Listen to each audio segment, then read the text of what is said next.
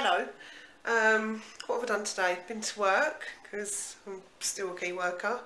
Um, when I got to work this morning, there was a bird flying about and it freaked me right out. But an engineer came in and he opened the window for me. Thank God. He saved my life. That thing was flying straight at me. It's horrible. She is, she is eating all my bagels. Yes, she is. That's not nice. She is eating all my bagels, eating all my bagels, eating all my bagels. Yes, she is. Yes. Blue, you're in my chair. Come on out. Out, get out of Mummy's chair. Blue, Blue, it's time to get out of Mummy's chair.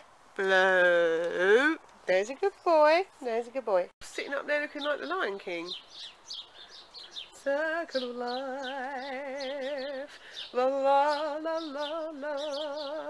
Don't know the words. Lucky! And now she's by the microwave. Isn't she pretty? Are you pretty? Are you pretty girl? You are, aren't you? You're a pretty girl. Yeah, you're pretty. You know what I was thinking about this lockdown?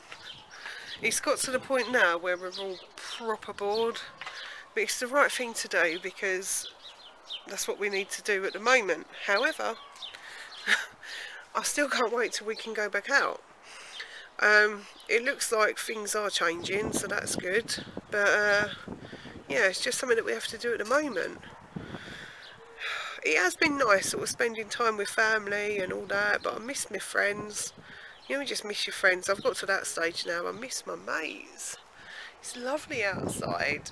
See, look at this gorgeous blue sky again. And our washing. How lovely. But yeah, that's not so good. But it's just so lovely out. You just wouldn't know what was going on. It's gorgeous out here. I miss the outside world, don't you?